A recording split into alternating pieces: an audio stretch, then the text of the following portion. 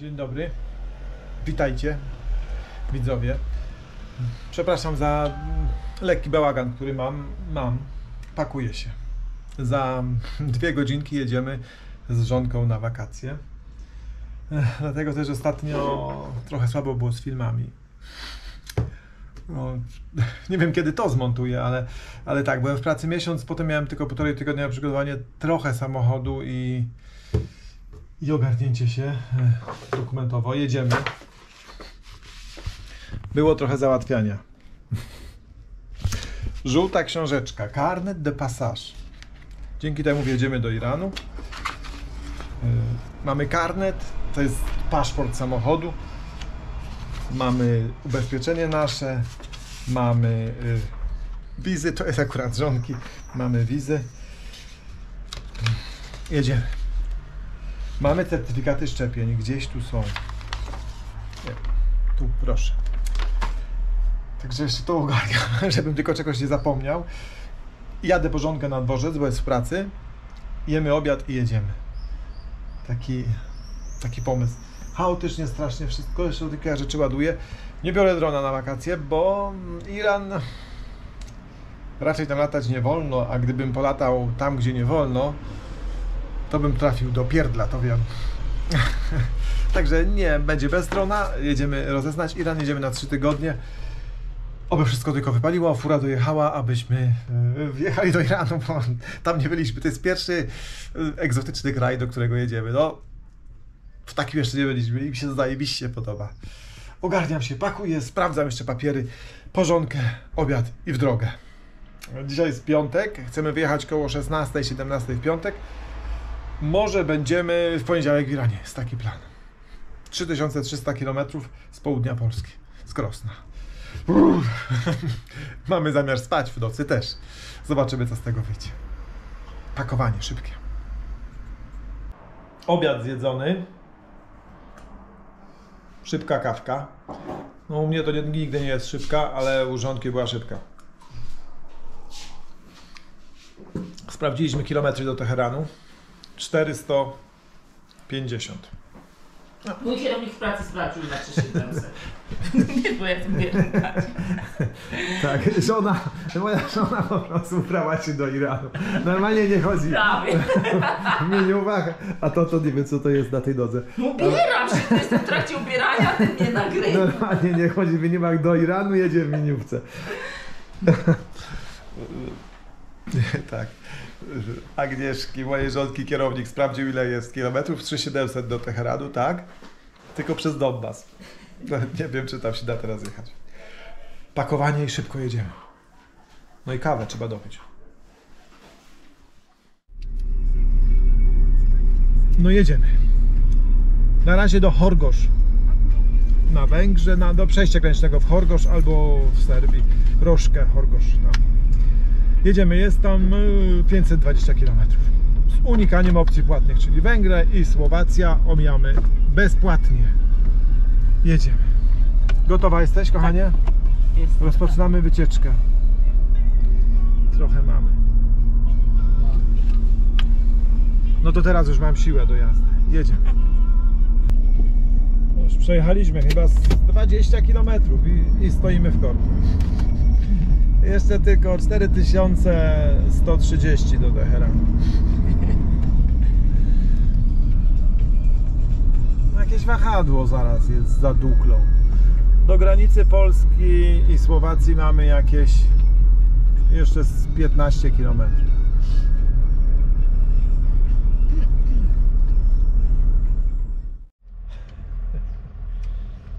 No, dojechaliśmy daleko, jesteśmy już, uff, jesteśmy już na granicy. Coś mam wrażenie, że fura jest trochę słabsza. Sprawdzę, kontrola wężyków podciśnienia, czy przypadkiem będzie normalnie jak fura, jak nowa. Tak, człowiek jeździ, nic nie dzieje, a potem rusza i się okazuje, że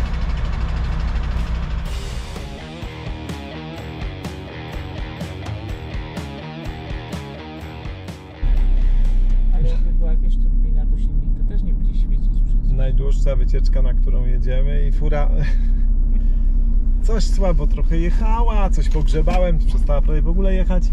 Jeden z wężyków od pociśnienia mam taki rozwalony. Mam słaby ten wężyk, bo są zmienione, ale ten akurat nie. No i no i nie wiem, czy auto będzie jechało. Coś tam po troszkę podciąłem, podreperowałem wężyka, bo, bo nie mam nowego. No jedziemy chyba na razie, no co. Jesteśmy zaraz za granicą słowacką. Trzecie podejście do węża. No naprawdę. Po pierwszej naprawie auto przestało jechać, druga nic nie dała i trzecią już robię w przeciągu na, na odcinku 15 km. No już ujechaliśmy około 40 z domu, to jest kawał drogi, jeszcze zostało tylko 4110. E. No jest, jest y, wesoło, ale coś damy, coś tu ogarniemy, bo Znalazłem wężyk, który spadł gdzieś. Był pęknięty i końcówka spadła. Mam nadzieję, że będzie dobrze. Wyłącz tą kamerę. No, chwila prawdy. Zobaczymy. Czy fura będzie jechała jakby miała 128 koni, czy będzie jechała jak miała 60 koni?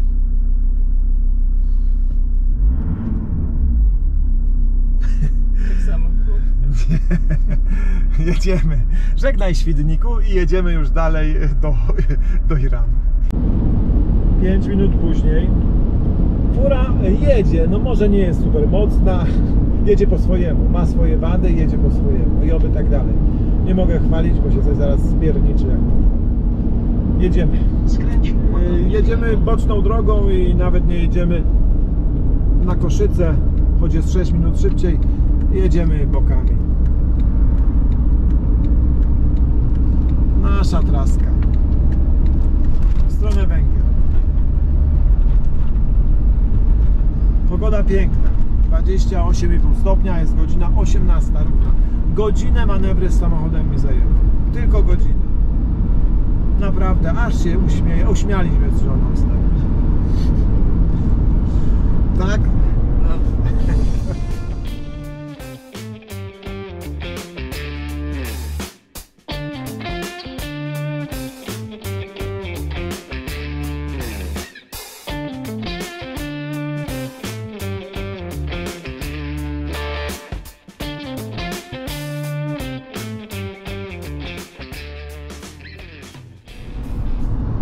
160 km przejechaliśmy.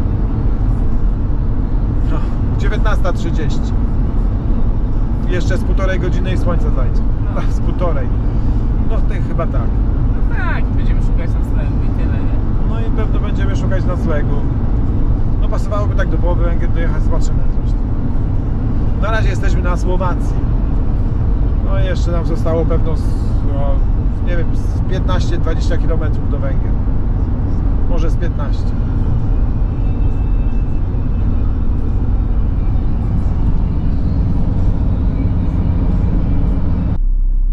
Stoimy na przejeździe kolejowym, znaczy się przejazd jest bez szlabanów, ale miga czerwone światło. Tu zawsze światło miga, ale migają dwa czerwone, więc nie jedziemy. No to nie wiem, tak jest, no a to dolne jest pomarańczowe, no jak miga to się na nim jeździ. No stoimy już, e, nie wiem, minutę. Chyba robimy dobrze, że stoimy, nie wiem.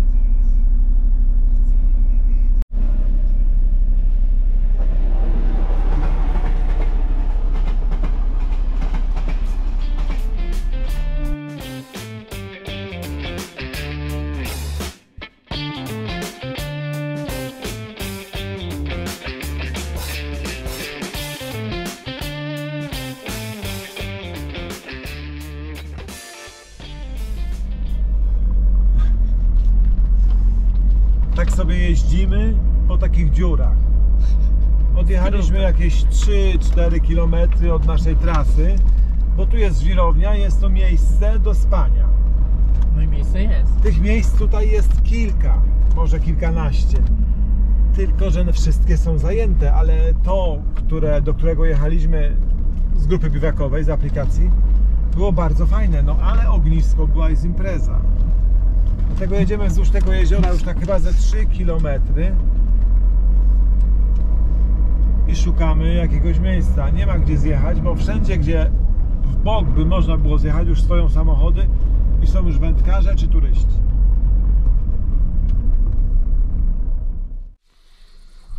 Jesteśmy na noclegu. Stanęliśmy na drodze pomiędzy jednym biwakiem a drugim. Jedni tu się na nas czają, podchodzą, świecą. Mamy piwo. Musimy wypić. Mamy 8 piw i musimy je wypić do Iranu, bo jest. y, Wwożenie piwa do Iranu grozi więzieniem.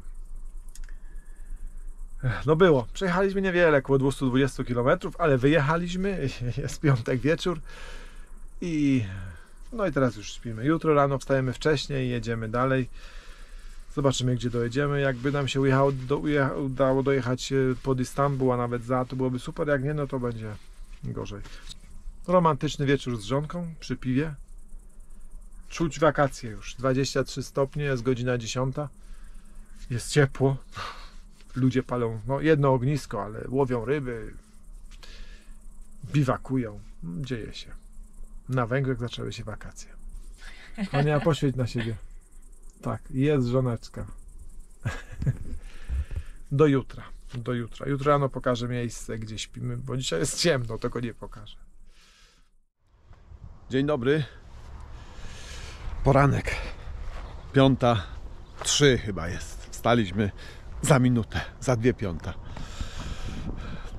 Troszkę się ogarnęliśmy. Tak, tu stoimy. Przy takiej drodze. Proszę, tu jest droga. My na niej stoimy. Tu już wyciągnąłem wodę. Nasza łazienka jest przygotowana. Tam kopią żwiry i tu jest taki duży zbiornik. No, przejechaliśmy właśnie kawałek wzdłuż tego zbiornika. Tam na górce ktoś stoi, tam są namioty. Tu zaraz za nami jest namiot. Tam dalej jest bardzo fajne miejsce z grupy biwakowej, gdzie było ognisko. Tam znowu kilka samochodów stało i kilka takich zatoczek, gdzie jest tylko zjazd do tej wody, bo normalnie to są takie haszczory. Jest fajnie. Jest rzeźko. W nocy było chyba 17 stopni, tyle miało być i tak czuję, że jest. Jemy śniadanie i ruszamy. Żoneczka tu ogarnia na chacie. Już prawie ogarnęła. Cześć. Cześć. Twój tyłek mówi cześć do widzów. No bo tak nakręcasz. Pomagam żonce. Już gotuje się woda na kawkę i herbatę. Dzisiaj szału nie będzie. Mamy parówki z Polski. Trochę salcesonu z Polski. Takie, takie wege śniadanie. No wszystko mamy z Polski. Na Węgrzech za wiele nie kupujemy. Nawet paliwa nie kupujemy na Węgrzech, bo chyba nas trochę nie lubią w Europie ostatnio. Dla ludzi spoza Węgier paliwo jest prawie po 9 zł, dla nich po 6. Będę pił kawkę ze szklanki, a z tego słynę, z takich szklanek. Mm. Tylko z takiej szklanki kawa jest dobra.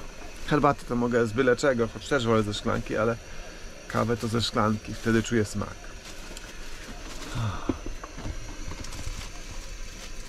Żonka coś tam ciągle układa po swojemu, bo ja to układałem i ona mówi, że tak nie może być. O, salceson, proszę, jakie pyszności. Parówki, proszę. Ser żółty, pomidory, które umyłem. I, nasz, I nasza woda na herbatkę. Jak tam, kochanie? Już poukładałaś trochę po swojemu? Chyba już wszystko. No, jeszcze będzie układać dwa dni to po swojemu, to ja to wiem. Nie trzeba przekładać. Wiem, wiem. To się tak nie da robić raz. Śniadanie. Najprostsze śniadanie, ale jedzone w warunkach terenowych smakuje inaczej. Już dawno nie jadłem ser z pomidorem, no i żonką do towarzystwa. E, Parówka. Na razie to jem. Napoje się słodzą, słodzą, studzą. Smacznego.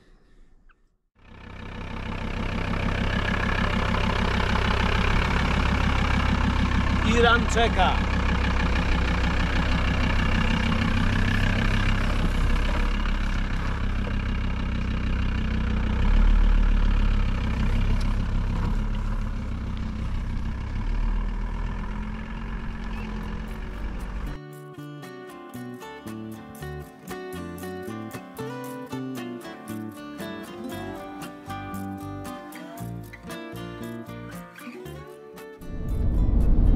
Jeszcze mamy 5,5 km do granicy serbskiej.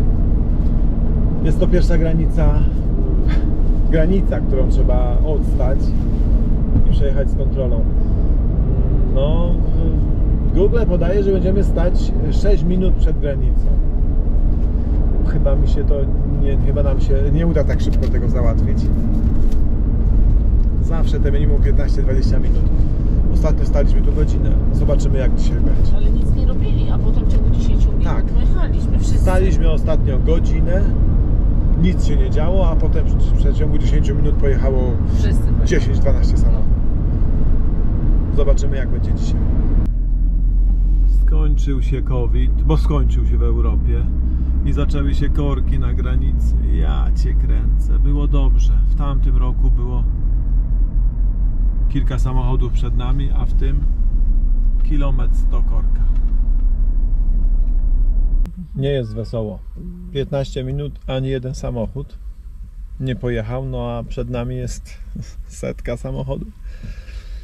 E, Nie wiem co się dzieje, jakiś dramat jest. Na autostradzie Tam ci się trochę przesuwają. ludzie trąbią.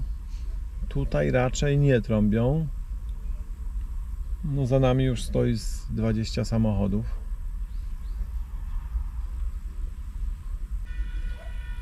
No, ludzie się niecierpliwią, będzie się działo. będzie zabawa. Chyba wracamy do naszych koszmarów granicznych, które nam towarzyszyły lata temu. Jakieś 200 metrów przejechaliśmy, może 150. Minęło 35 minut. Dlatego przejechaliśmy te 200 czy czy 150, bo chyba z 6 samochodów wyjechało. A tak z odprawy to może, nie wiem, czy nie jedno, dwa auta. Nie, może faktycznie tam jechać. No to naprawdę kurwa nic nie widzę. Trochę nas irytuje granica, trochę nas to irytuje. Człowiek poplanował sobie, że będzie tam o tej godzinie, a tu mniej więcej o tej, a cały plan jazdy może się rozlecieć. Grają w piłkę. Turek gada już przez 20 minut przez telefon na głośno mówiącym. Czekamy.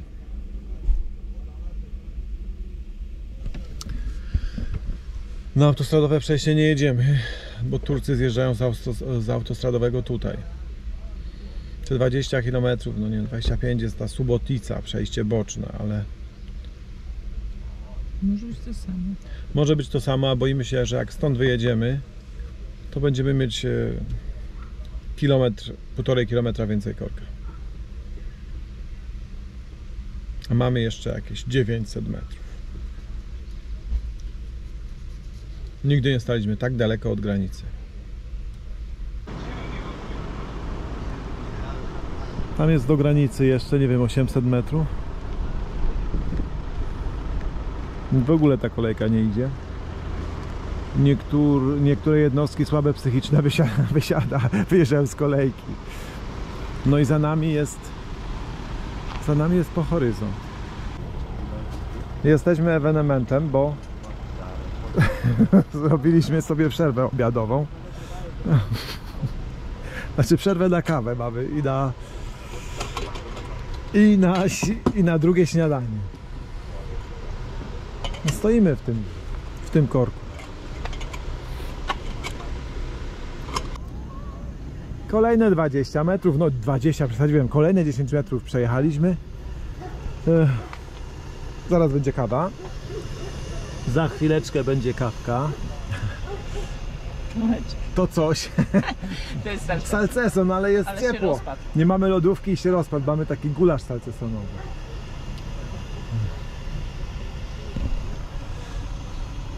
Trzeba coś jeść, no bo już Nie? wow, półtorej godziny, godzinę 35. Tempo mają żadne, bo żonka była na granicy i Odprawiają w ogóle. Znaczy odprawiają. samochód 10 na minut na auto. 5-10 minut. Złośliwie to No chyba to robi. widać jak jest tempo, bo z przejścia z po, w przeciwnym kierunku też zjeżdżają, no to co tu jedzie? Co 20 Rob, minut jedno robią to złośliwie chyba, nie wiem. Złośliwie na pewno. Chyba to będzie nasz rekord, jeżeli chodzi o długość przekraczania granicy. skoro zaczęliśmy biwakowanie, to inni poszli w nasze ślady. Proszę bardzo. Stoimy. My kawkę gotowaliśmy w środku, a tam pani gotuje na drodze. Tylko, że chłop co chwilę przejeżdża, no co chwilę. Raz do tej pory przyjechał, musiała to przenieść. I tak się stoi w korku. Już dwie godziny niecałe.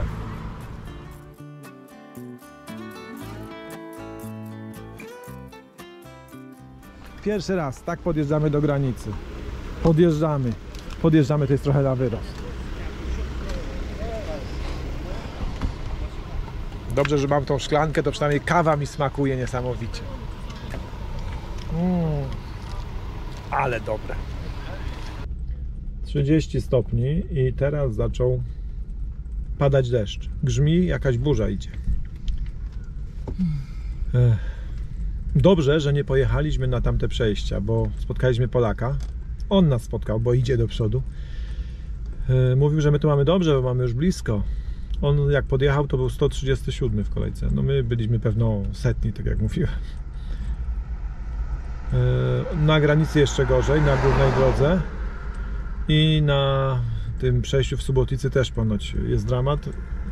Mówił, że ma znajomych, którzy tam stoją i nic tam nie idzie. Jakaś chyba akcja protestacyjna Węgrów, nie wiem, przeciwko Unii, która ich nie Bez lubi. możliwości. Nie.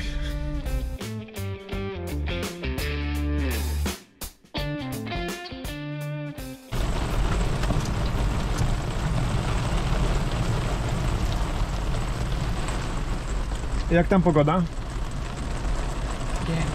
Piękna.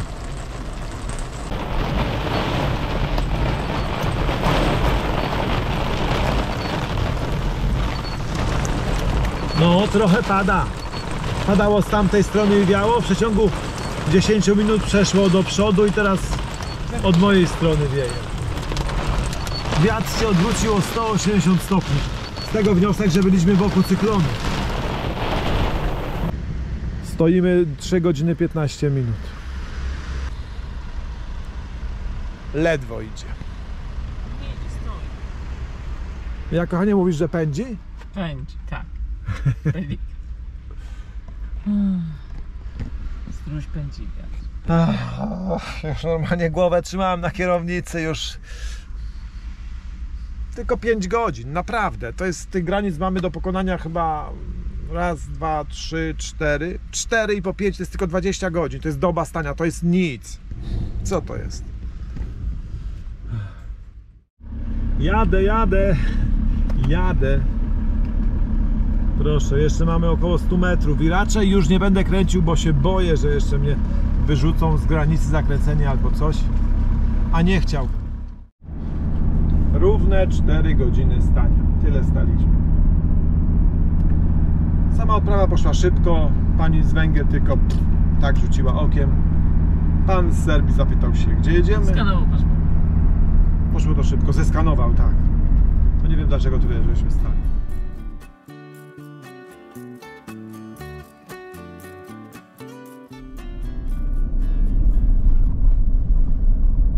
Pierwsze bramki. Ale to pobieramy kartkę.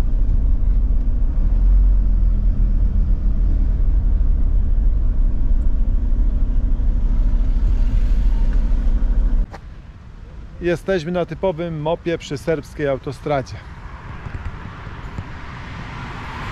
Brudne to i to je. I żaden nie ma zamykania. Tak, teraz tak myję ręce. I nie ma nic, jest tylko. A, jest parking. Faktycznie są betonowe ławeczki. Jest i od sprzątania i motocykliści, także jest i jedno i Tak, drugie. tak, są motocykliści i pan, który sprząta. Dobra, elegancko. Teraz ty, daj to ci poleję. Ja już sama. Już sobie umyłaś? Jedziemy! Przejechaliśmy 50 km autostradą. No to jeszcze mamy 450.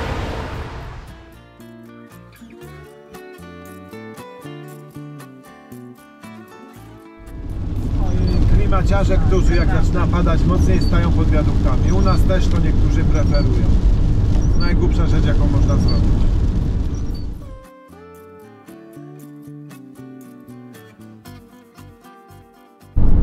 Jedna trzecia Serbii, mniej więcej. Zapłaciliśmy za pierwszy odcinek autostradowy. Wyszło 640 dinarów serbskich. Uff. To jest tyle co 3 litry ropy. Czyli nie wiem ile.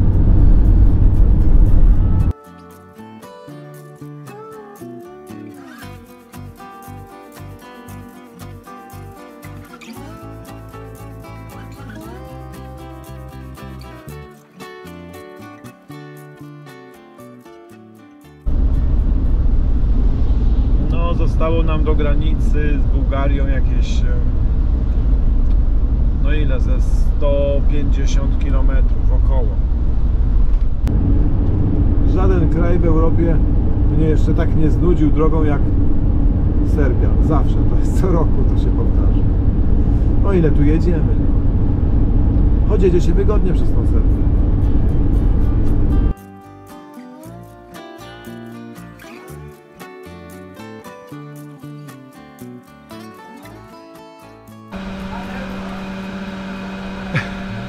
Tankuję 40 litrów diesla. Tyle, żeby do Turcji dojechać. Tam jest taniej. Myślę, że koło złotówki jest taniej na litrze. Może, nie wiem. Proszę, cena. Nie wiem, czy widać. 212 dinarów za litr. Nie wiem, jaki jest przelicznik. Myślę, że koło 8,5-9 zł litr. Zatankowaliśmy 40 litrów. I po zatankowaniu facet powiedział, że nie działają karty. No jak to nie działają? No nie działają. Musimy czekać godzinę, może za godzinę będą działać. No to z euro możemy zapłacić, no możemy. No to policzyli, policzył, wyszło tam euro, 40 litrów po 10 zł 10 groszy za 1 litr. Myślę, że normalnie kosztuje około 9 chyba. Albo i mniej, nie wiem, nie może się mylę, nie wiem nas wykiwał dziad po prostu. No człowiek się musi pytać chyba na przyszłość. Opuszczamy y, deszczową i zimną Serbię i niezbyt przychylną i jedziemy dalej. No jedziemy. Teraz mamy paliwo do, do Turcji. Bez problemu dojedziemy.